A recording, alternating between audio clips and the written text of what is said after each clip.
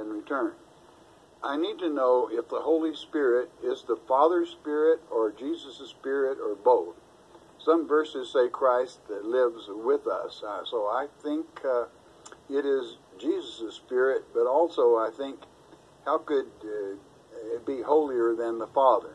Well, always remember, um, remember, Brian, what it says in Isaiah chapter 7, verse 14 A virgin shall conceive, she will bear a child, uh, and you will call him Emmanuel, being translated God with us. So Christ is the, if you've seen Christ, you've seen the Father. So, in other words, um, the um, Christ is in a dimension that we can see because the Word became flesh and walked among us.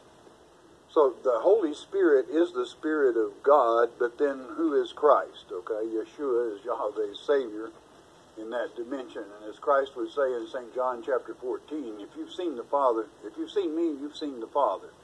So they're both, it's both one.